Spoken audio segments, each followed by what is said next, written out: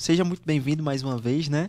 Me fala aí, o que era que você fazia antes de iniciar no mundo das apostas? Olha, é bastante coisa. Vou, vou dar uma resumida, né? Porque foi bastante coisa, né? Manda pra gente. A galera não sabe, mas já também fui produtor musical. É, todos vocês sabem, né? A galera que me conhece igual você, vocês já sabe, gosta de um pagodinho, né? Gosta de uma música, então Massa. eu trabalhei isso. Aí depois eu vim para o. Comecei a trabalhar também com escolas. É, eu trabalhava com cursos profissionalizantes dentro da faculdade para a galera. E nesse período aí que eu comecei, né, que tinha um, um tempinho mais tranquilo para ficar, né, mais avoado ali, aí eu comecei a conhecer realmente as apostas esportivas. Mas já trabalhei com apostas, já fui recreador, né? Olha Por isso só. que eu sou meio também louco, né, tonto, por causa disso também. Mas trabalhei como apostador, é, perdão, como recreador, trabalhei como dando cursos, né, palestras. Cara, fiz bastante coisa. E também, né, gosto do pagodinho, né? Sou um pagodeiro Massa. aí também. Muito bacana. E como foi o seu primeiro contato com as apostas? Vieram através de que foi algum, algum amigo que te indicou? Foi propaganda na televisão? Como é que foi isso, cara? Propaganda na televisão, foi. Propaganda na televisão eu vi assim e falei, nossa, que negócio legal. Foi em 2018, 2018. 2018, na Copa do Mundo ali, É, durante a Copa. Começou a surgir, eu olhei, falei, nossa, que negócio legal. Eu posso apostar no Real Madrid e ganhar dinheiro? É assim mesmo? Mas brincadeiras à parte, foi- começou ali. Comecei a olhar e foi o, o primeiro site ali. Não sei se pode falar, né? Sport, Pode sim. Foi o Sporting Bet, né? É, o que aparece na maioria da- Era- das propagandas. né? Exatamente, foi uma das ah, pioneiras, assim, né, que apareceu. Exato. E eu conheci ali. É, aí eu falei, pô, que legal. Obviamente, sem entender nada, como todo mundo que né, inicia nas apostas esportivas, mas meu primeiro contato foi ali, visualmente pela televisão, vendo que eu podia apostar em casa, sofá. Olha Hum, só. Te encheu os olhos, né? Oh. Você em paralelo fazendo ali a recreação, a música também, fazendo as apostas. Exatamente. E nesse, aí nesse período eu já estava trabalhando já é, com esses cursos profissionalizantes, né? E, e paralelamente parava, saía de, um- de uma faculdade para outra, saía de uma escola, deixa eu ver aqui se o Benzema fez um gol, deixa eu ver se comecei a gostar e começar a entender. Eu falei, tá, legal. Eu nunca tive o problema de colocar muito dinheiro, essas Sim. paradas todas. Nunca tive Sempre esse foi problema. controlado, Sempre fui né? controlado. Mas eu comecei a conhecer dessa forma.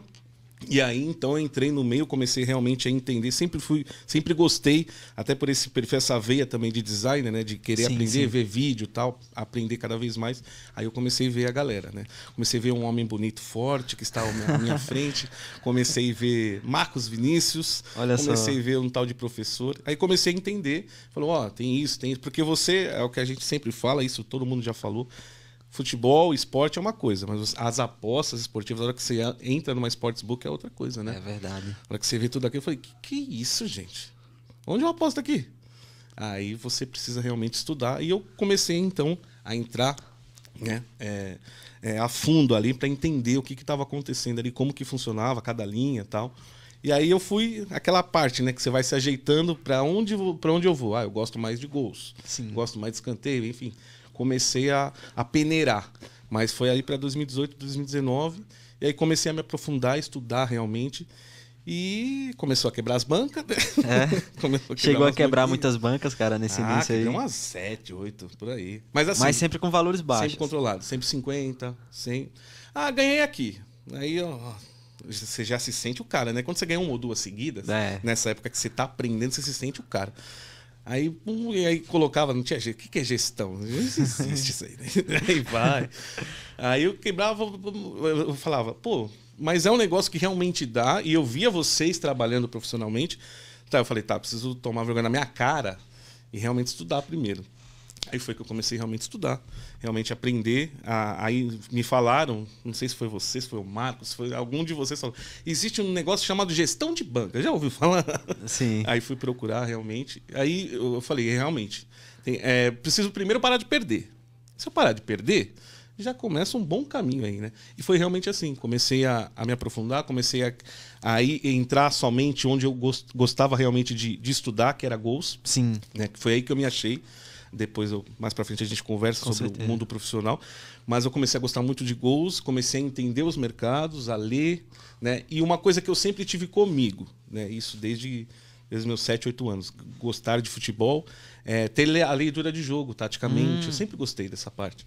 Então, isso também foi um facilitador. Mas para isso se encaixar com isso, que é a- as apostas, é, tem- leva um tempo, né? Não é, É. porque você entende de futebol que você vai entender de apostas esportivas. Então, até se encaixar, os dois mundos se realmente se conhecerem, de- demandou, demorou um tempinho.